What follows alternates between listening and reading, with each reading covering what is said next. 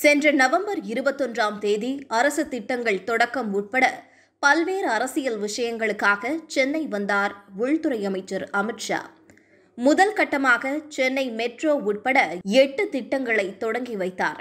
அந்த அரசு நிகழ்ச்சியில் முதல்வர் எடப்பாடி பழனிசாமி மற்றும் துணை முதல்வர் ஓ பன்னீர்செல்வம் ஆகியோர் பேசுகையில் பிரதமர் நரேந்திர மோடி கொரோனா விவகாரத்தில் மிகவும் சிறப்பாக செயலாற்றினார் என்றும் மோடியும் அமித்ஷாவும் உலகே திரும்பி பார்க்கும் வகையில் மிக சிறப்பான நிர்வாகத்தை அளித்து வருவதாக கூறினர். மேலும் பாஜகவுடன் கூட்டணி வரும் காலத்திலும் தொடரும் என்றனர். அமித்ஷா பேசுகையில் மாநில அரசின் நிர்வாக செயல்பாடுகளை பாராட்டினார். மேலும் இந்த அரசுக்கு மத்திய அரசு அரணாக விளங்கி எல்லா விதங்களிலும் உதவி செய்யும் என்று கூறினார். ஆனால் கூட்டணி குறித்து அவர் வாய் எதையும் திறக்கவில்லை. அதற்கு காரணம் வரும் சட்டமன்ற தேர்தலில் திமுகவை வீழ்த்த அதிமுகவுடனான கூட்டணி மட்டும் போதாது.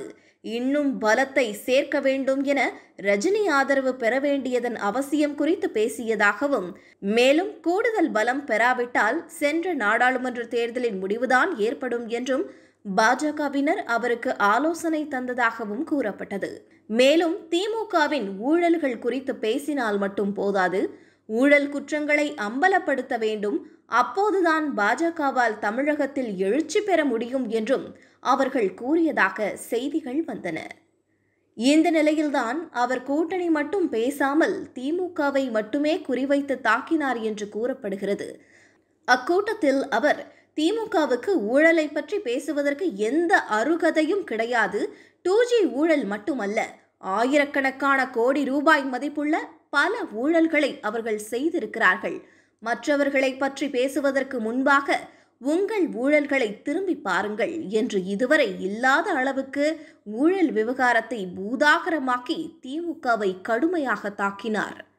மேலும் அமித்ஷா டெல்லி சென்ற மறுநாளே சென்ற டிசம்பர் இருபத்தி மூன்றாம் தேதி டூ ஜிக்கு எதிரான விசாரணையில் நீதிபதி பிரிஜேஷ் சேத்தி ஏற்கனவே நடந்த முறைகேடுகளுக்கெல்லாம் திருத்தப்பட்ட சட்டம் பொருந்தாது டூ ஜி வழக்கு மேல்முறையீட்டை விசாரிக்க எந்த தடையும் இல்லை என்று நவம்பர் இருபத்தி மூன்றாம் தேதி உத்தரவிட்டார் என்றும் இது ஆ. ராசாவின் மேல்முறையீட்டு மனுவுக்கு கிடைத்த மிகப்பெரிய அடி என்றும் சிலர் கூறியதாக ஊடகங்களில் செய்திகள் வந்துள்ளன.